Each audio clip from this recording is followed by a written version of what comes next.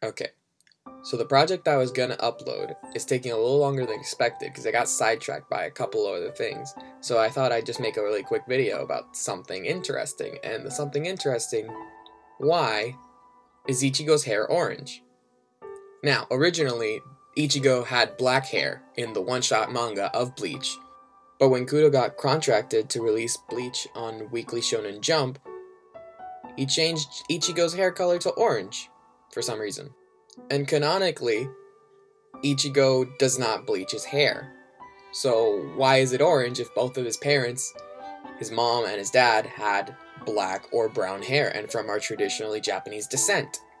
What's interesting about this is that I actually thought it was bleached for the longest time because that's just his type of character. Yeah, of course, because it's such a common occurrence for the punk-esque character in an anime or in any Japanese art form to bleach his hair because they want to stand out compared to all the other Japanese men that have black hair. But for Ichigo to go out of his way to explain that he does not bleach his hair, he it's naturally orange, it's kind of a shock in like in regards to like genetics and everything, everything we know about the character.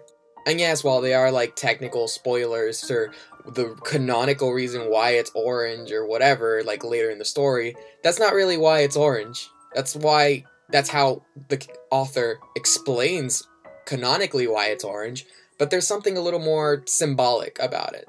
Ichigo, if at first glance, he's a punk. He's a punk with a golden heart, or a punk with a heart of gold, and there's just there's just so much to him that you're not going to see at first glance, and you have to really get to know the character to see what he's all about. So, most people in society would look at Ichigo and already make an assumption on who he is as a person. Hell, that's what happened to me. In my head, Ichigo was a punk, a rebel, so therefore it made sense that he would also bleach his hair to stand out. But that's just simply not the case. Ichigo isn't a poser. He's not trying to stand out. He's not doing anything intentional to be shunned by society. Society is the problem. Society is the one that looks at him, makes a conclusion, and then treats him accordingly. They look at his temper, his bleached hair, his attitude, his resting bitch face, and they think this guy is a degenerate.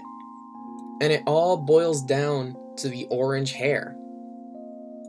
The simple fact that it's orange naturally is a metaphor for how so many people can draw a conclusion on him as a person based on his orange hair, assuming it's bleached, but in reality, it's natural. And that's how, why people misinterpret him. What better way to exemplify a misunderstood character in the face of all the punk esque tendencies he has than for his bleached colored hair to be, in fact, natural.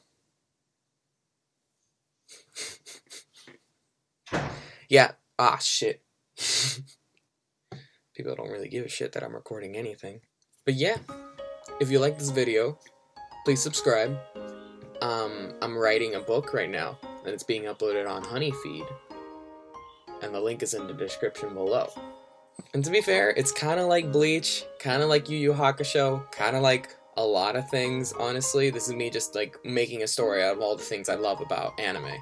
And uh, I don't know, it's getting a lot of traction. And so far, the few people I've shown it to really seem to like it. So maybe check it out if you want to. If you by happen to be seeing this and you're not already subscribed, subscribe to my channel. Have a good day, and I'll see you next time.